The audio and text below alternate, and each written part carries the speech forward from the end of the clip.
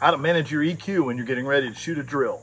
The PHLster Enigma is a revolutionary holster chassis system that completely divorces your holster and gun from your clothing, giving you unprecedented concealment whether in sweatpants or formal wear. It attaches to your AIWB holster via the wing and allows incredible flexibility for your concealed carry. Get yours at the link below. Hey guys, Brian Hill with The Complete Combatant, and this is Suck Less Saturday, and welcome to Active Self-Protection Extra.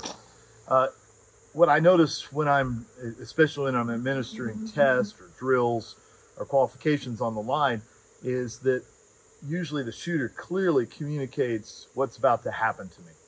So what I mean is if they're calm, composed, their eyes are focused on the target, then I know it's probably going to be a pretty good run.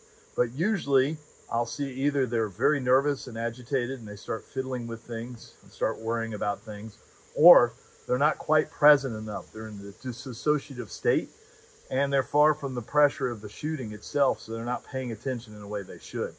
You'll find during the day that you can be sometimes overexcited and the next time you can be underexcited. Uh, is the nature of human beings. We're cyclic by nature. We have 90, 90 minute uh, concentration blocks that we can usually work at, and we need some time off. Food, sleep, all that matters. There's a real simple trick though you can do to perform better. Okay? If you find yourself not quite up to it, and you're not as excited, and you feel really laid back and far away from the task, that sounds like a great thing, but it doesn't allow you to access your highest level of shooting skills. Uh, it means that you're going to be a little bit behind the curve always, a little less reactive than you should be. So what I want you to do is if you find yourself underexcited, I want you to inhale through your nose twice. You'll do a cycle of three of that, you'll find that you really peak up. Alertness comes up, the body changes its mechanics. Uh, neurologically, we know that the heart rate changes, the blood supply changes, and the nervous system gets ready for a task then. Because what you're doing is putting oxygen to the brain and the drag racer. On the other hand, which is far more common if you find yourself a little overwhelmed, a little too excited for it, uh, and I'm not talking about trimmers. Everybody should have a little bit adrenaline trimmers before they go. I'm just talking about like you're not really, your mind's jumping around. It's very excited.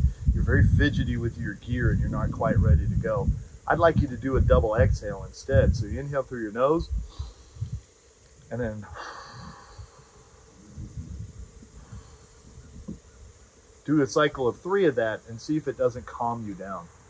Uh, coaches have been using this forever, especially in martial arts. We use this quite frequently. Uh, and it's much easier to get people to do it like in jiu-jitsu because breath becomes really important. But in shooting, oftentimes, uh, outside of the precision shooting world, we don't really think of breath as any more than allowing us to be stable with the gun. But it's much more important. It allows you to focus more deeply. It allows you to control your EQ, which is your emotional quotient, and it allows you to shoot at your current level of skill and nothing more. All right.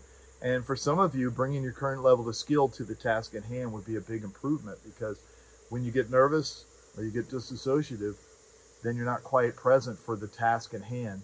And that means that the four goals that we always have, the clear goal, to be present, to get immediate feedback, and to challenge ourselves appropriately, is not present in your shooting. You'll see that your progress is really slowed down and, and overall, and you'll be very inconsistent in your shooting. Please give it a try. Remember, if you want to get more excited, it's double inhale through the nose, nice easy exhale. If you want to settle down, it's inhale through the nose, long double exhale. That can be done through the nose also, just needs to be like a sigh. All right, try it. Uh, it's hard to remember these things when you get up to do something because we, we feel the sense of pressure that comes from time and trying to get enough information. But this can really change the way you shoot. It can change matches. It can change the way you approach tests and classifiers and qualifications but also it could be a life or death thing for you too as you find yourself in the most stressful time of your life. Proper breathing can allow us to take action in the appropriate manner. All right i'm brian hill with the complete combatant. This has been your simple coaching tip. Uh, if you'd like to explore this more uh, dr andrew huberman does a great podcast on these same ideas uh, and gives you the science behind it. I think it's incredibly helpful for some of you to have that. All right make sure you smash that like button subscribe uh, I look forward to working with you guys. And as always, measure, refine, and perform.